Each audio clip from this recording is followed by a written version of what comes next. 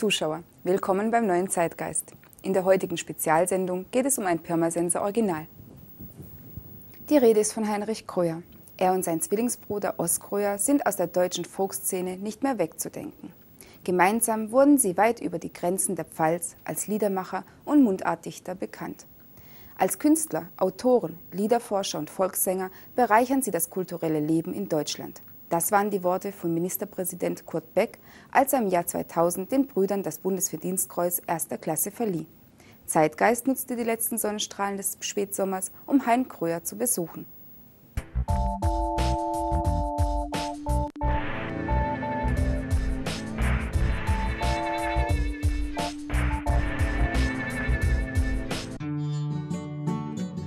Seit mehr als 50 Jahren stehen die Kröyer-Zwillinge auf den Bühnen dieser Welt. Europa, USA und Russland sind nur einige Stationen der Pirmasenser Liedermacher. Doch auch als Autoren sind die beiden erfolgreich.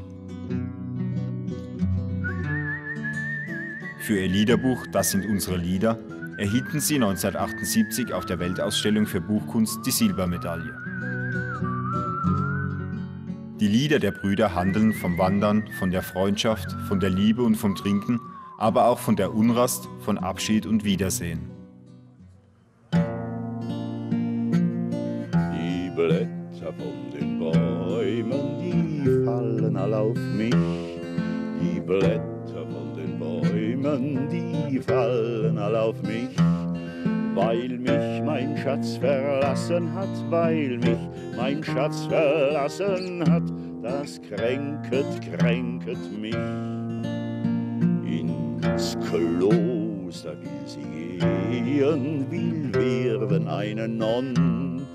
Ins Kloster will sie gehen, will werden eine Nonn.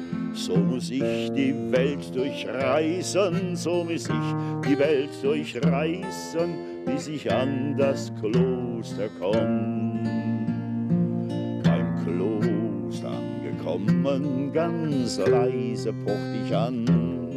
Beim Kloster angekommen, ganz leise klopft ich an. Gebt heraus die jüngste Nonne, gebt heraus die jüngste Nonne, die zuletzt ins Kloster kam. Sie ist keine angekommen, wir geben auch keine raus. Sie ist keine angekommen, wir geben auch keine raus. Denn wer drin ist, muss drin bleiben, denn wer drin ist, muss drin bleiben, in dem schönen Gotteshaus. Wer stand dort unter der Linden, schneeweiß war sie gekleidet. Wer stand dort unter der Linden, schneeweiß war sie gekleidet. Und ihr Haar war abgeschnitten, ihr Haar war abgeschnitten, zur Nonn war sie bereit. Was trug sie unter der Schürzen? Zwei Flaschen roten Wein. Was trug sie unter der Schürzen? Zwei Flaschen roten Wein. Nimm sie hin, Herz allerliebster, nimm sie hin, Herz allerliebster, soll der Abschied sein.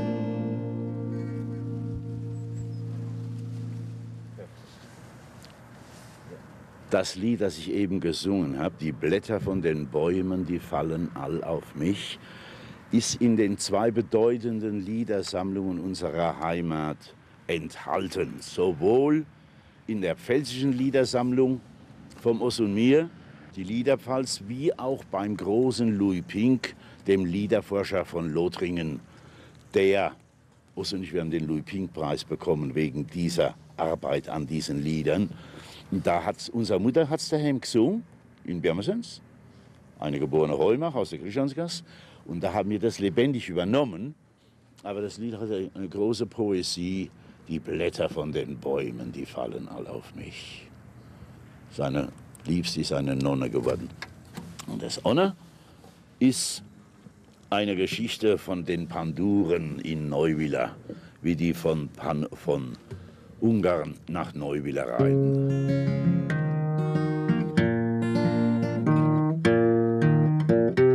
Lass dein Rüsslein traben, Pandur, auf ins Elsass flick deine Montur. Überm Rhein wächst guter Wein, das Kloster mag Quartier uns sein.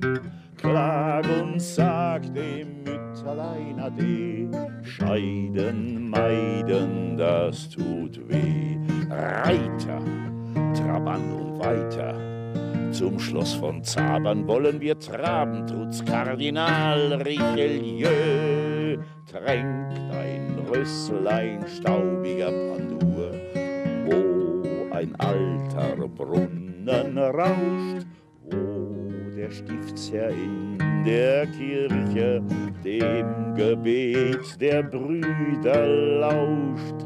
Pflück ein Röslein, stech's an die Montur, brech's vom Busch am Wegesrand. Denk an deinen Schatz, Pandur, so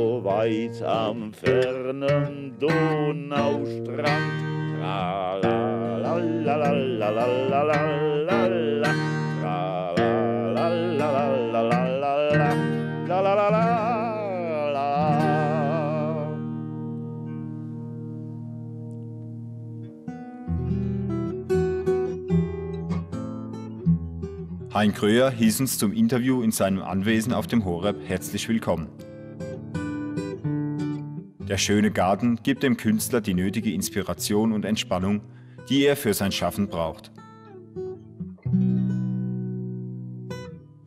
Gemeinsam mit seinem Bruder veröffentlichte er bereits 18 Tonträger sowie 20 Bücher mit Liedersammlungen aus aller Welt. Und irgendwo die Steppe und irgendwo die See. Auch wenn der Weltenbummler viel umherkam und noch mehr erlebt hat. Sein Weg führt ihn immer wieder nach Pirmasens zurück, nicht ohne Grund. Pirmasens ist Heimat und wer eine Heimat hat, junger Freund, der ist weniger manipulierbar als Leute, die heimatlos sind. Ja? Sprache, Tradition, Küche, Freundeskreis, Herkunft, auch wie man sich einrichtet in dieser Stadt. Dass man daran teilnimmt, dass man Vorschläge macht, wie es geht. Und mir gefällt in Pirmasens nicht nur das Klima, sondern mir gefällt in Pirmasens die Situation, Erstens einmal, dass eine Mundart lebendig geblieben ist. Zweitens, dass Lebensqualitäten vorhanden sind, wenn man sie braucht. Wir haben eine gute Brauerei in Birmesens, eine gute Metzgerei in Birmesens und eine schöne Frau in Birmesens. Wir haben ein, ein Land um uns herum von großer Schönheit, ich weiß nicht, ich rede. Hein Kröyer ist kein Schwarzseher. Trauert nicht den vielen schönen Tagen nach, welche er in Pirmasens verbracht hat. Er lebt und genießt im Hier und Jetzt. Das Pirmasens unserer Jugend ist mit dem verloren gegangenen Krieg, mit dem Bombenterror der Alliierten kaputt gegangen. In den Himmel geflogen, was hier gehört zu der Engel. Wie es abgebrannt ist. Und das neue Pirmasens ist ein anderes Pirmasens. Das Pirmasens der blühenden Schuhindustrie der 50er und 60er bis in die 70er Jahre hat man ja erlebt, aber auch ein flächendeckender Wohlstand, wie man sagen kann. Nicht nur von den Schuhen, sondern von allem Zubringen. Und mein liebstes Pirmasens, das ist das von heute. Das ist das von heute. Wo das Bier noch läuft, wo junge Leute einem notieren, wo die Sonne scheint und der Winter ist noch nicht da und in der Vorderpass wächst ein guter Woi. In den schweren Zeiten nach dem Zweiten Weltkrieg gab es bei Hein Kröyer auch kurzzeitig Gedanken an eine Auswanderung nach Neuseeland. Ein Weg, den er aus seiner Sicht glücklicherweise nie beschritten hatte. Weil ich in Neuseeland vielleicht äh, mehr Glück gebraucht, ganz, ganz sicher mehr Glück gebraucht hätte, wie man in Birmesens hat, wenn man hier ansässig ist. Und ich habe ja damit meine Heimat mir erhalten können und brauchte eine neue nicht zu suchen. Aber die Chancen für uns Anfang der 50er Jahre, also weder eine Schuhfabrik noch eine chemische Fabrik zu haben, und auch keine reiche Eltern, sondern wir waren die Ausgebombten, wir waren die Hitlerbongerte, ja, unser Jahrgang. Wir waren die gar niemand. Dem schieren kapitalistischen Ausbeutertum in den Rachen geworfen. Der 78-Jährige schreibt seit über 30 Jahren Geschichten für und über Pirmasens.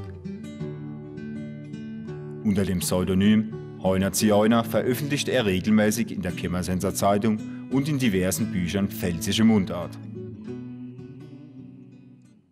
Die Zwicker waren in Pirmasens in Stanz, solange man bei uns Schuh gemacht hat. Und das waren gut und gern über 100 Jahre lang, seitdem beim Kaiserpeter die erste Steppmaschine gelaufen ist. Da hat die Fabrik angefangen, aber von Hand ist noch zugeschnitten worden, ist gebuckt worden, ist gestanzt worden und gezwickt worden. Die Ausputzerei ist langsam, aber sicher dann maschinell geworden, wie die Stepperei. Aber die fertigen Schäft sind auf die Lest gekommen mit der Bronzol und haben dem Schuh die Form gegeben. Und das haben die Zwieger fertig gebracht. Die aus dem flachen, gesteppten fertigen Schaft einen Schuh gemacht haben. Der, wo auf dem Lest mit der Bronzol durch Zwiegstifte verbunden war, hat seine Gestalt gekriegt, seine Fasson. Und dann hat der Schuh sein Buttergang gekriegt, sein Sohl mit oder ohne Rahmen und sein Absatz. In der Fertigmacherei war dann der letzte Abschnitt, in der Finish. Dann ist er ingepackt worden mit zartem Papier oder als Arbeitsstiebel ohne Papier in die Schachtel kommen und hat keine die Stadt verlassen. Verlässt der Schuh die städtisch Grenz, soll Lob er sein für Pirmasens. So steht der Spruch in Gehau auf dem Schusterbrunner zu lesen. Es gibt keine Mundart in Deutschland, die 30 Jahre lang lebendig geschrieben wurde wie die meine. Von dieser geliebten Stadt das sind ja 30 Jahre und, und, und, und also ich, sind die zwischen 2500 und 3000 Seiten Mundart. Pfälzische Mundart von Pirmasens, vom Horeb. Und wenn man das der Leute erzählt, finden die, die das noch ähnlich erlebt haben, finden es glückhaft. Und junge Leute, die das lesen, denken, der schlag noch mal so Geld wie mir. Die genauso schalbisch sind, sich genauso volkserfahren oder genauso Schwierigkeiten gehabt haben. Doch Heuner Zioiner ist nicht gleich Heinkröer. Die Inspiration für seine Geschichten holt er sich bei den verschiedensten Pirmasenser Charakteren. Schuhmaschine, man der wie der Brunner Leute da vorne, wann der oben am Stammtisch erzählt hat, da war der Homer zu Gast an der Tafel. Friseurmeister Gustav Gomba. Das sind auch Figuren und Gestalten und Persönlichkeiten, die einen prägen in der Begegnung. Also mit acht Jahren notiert man da jemand oder der, der Rektor Ergot, der bei uns vis-à-vis -vis gewohnt hat, mit dem Shakespeare-Schnorres und dem Bierbauch, mit dem EKNs, wo an der Wand gehangen hat.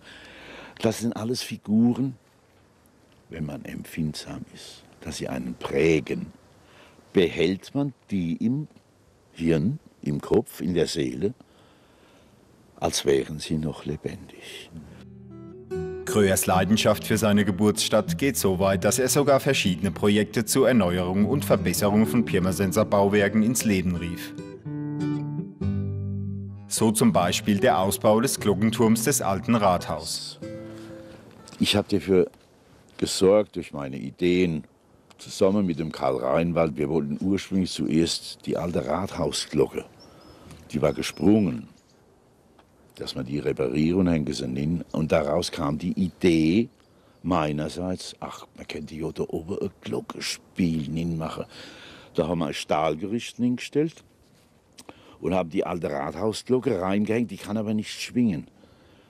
Dazu ist der Turm zu schwach gebaut. Aber sie wird angeschlagen und gibt die Stunden an mit dem Glockenhammer. Ja? Und das Glockenspiel selbst hat mehrere Titel, das nicht nur einen zum Spielen, Liedertitel.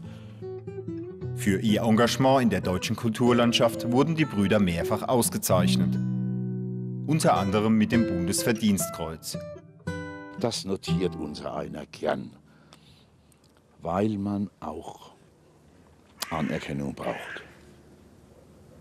Wenn sie ein Leben lang sich einbringen, ohne jetzt Multimillionär zu werden, Mit Mundart wird man keine, kriegen sie keinen Nobelpreis. Aber sie werden notiert und kriegen dann meinetwegen die silberne und die goldene Stadtplakette von, einem, von einer Stadt, die sie anerkennt. Also die Nachbarn und die Mitmenschen erkennt, erkennen ihr Schaffen an. Doch nicht nur in Deutschland hat er ein hohes Ansehen erlangt. Bei den Nachbarn in Frankreich hat er sich für die Erneuerung eines Brunnens in Neuvilla eingesetzt. Aufgrund dieser Leistung wurde er sogar zum Ehrenbürger ernannt.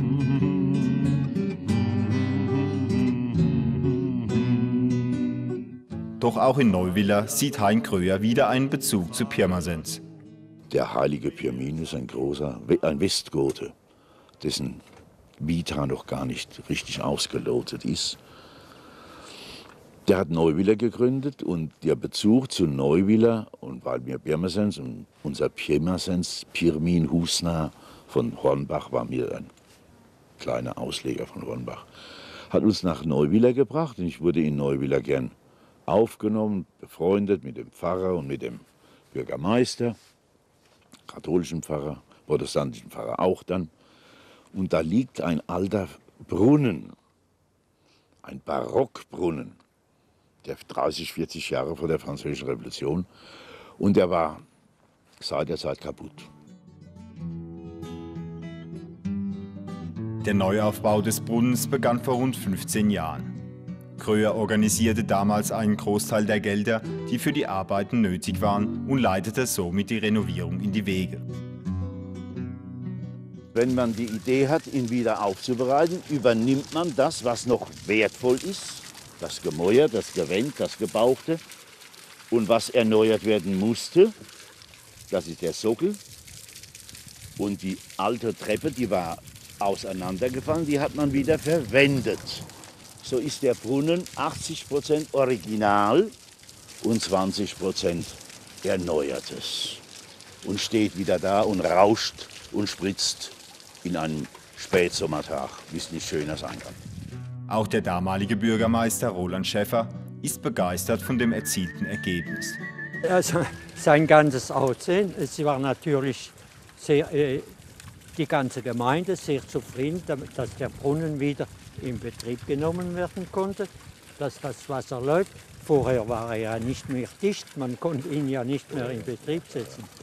Und äh, das, das ist eine Genugtuung für die ganze Gemeinde, diesen Brunnen wiederherzustellen. Besonders, weil da die Gemeinde auch sehr viel Geld gespart hat durch das mit Be Finanzierung, mit Finanzierung von Herrn Kröhr.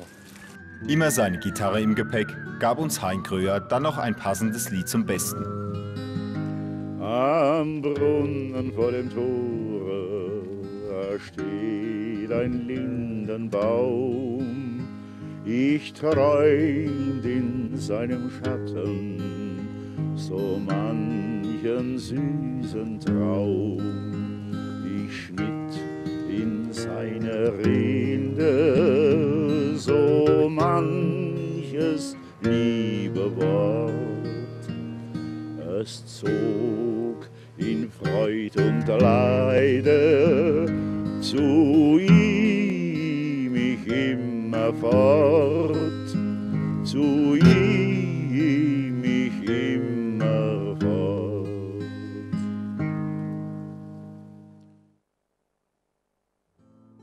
Die Geschichte ist ein sehr wichtiger Aspekt in Kröers Leben. In seinem Denken und Handeln hat der historische Bezug schon immer eine wichtige Rolle gespielt. In unserer Herkunft, in, unserer Menschen, in unserem Menschentum stehen wir ja nicht in die Gegenwart geworfen, sondern wir haben einen Bezug zu dem, was vor uns war.